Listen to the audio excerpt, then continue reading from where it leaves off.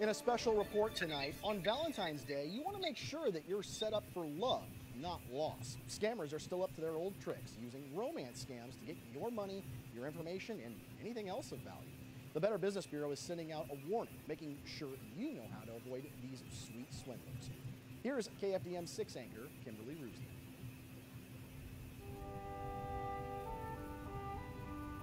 As a love song from the 50s says, love is a many splendored thing. Except when it's not. You know, online dating and social media, it's made it so much easier than ever to meet new people and find dates. Unfortunately, it's also made it very easy for scammers to work. Even in this day and age, scammers are still luring victims via romance scams. In 2021, Better Business Bureaus across North America received 276 reports of romance scams. In 2022, that number more than doubled in the first two months. Um, con artists, they create uh, uh, profiles with backstories and full-fledged identities, and then they trick you into falling for someone who doesn't exist.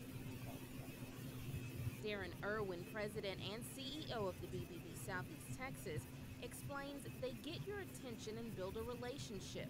Then cue the virtual violins, ushering in the sob story. Uh, before moving on to asking you to money, the scammers will hint um, at financial trouble, they're likely to cut off, or they have a stolen card, and, uh, or a sick relative even.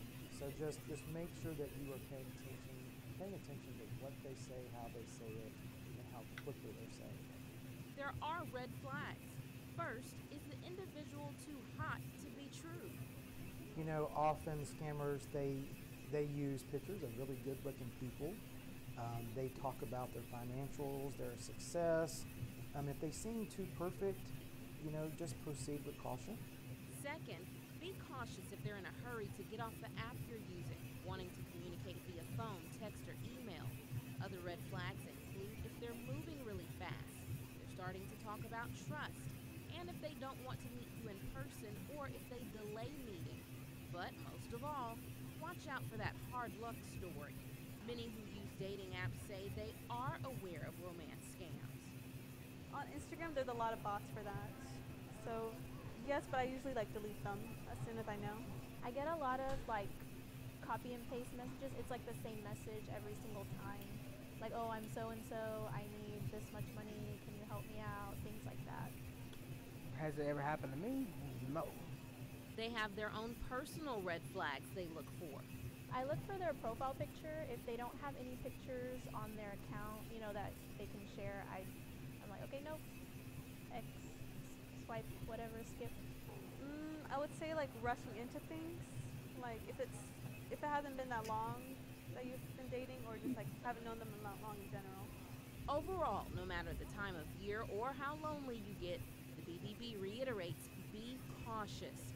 Hopefully, any sting you feel will be from Cupid's arrow instead of a con artist. Kimberly Roosley, Fox 4 News.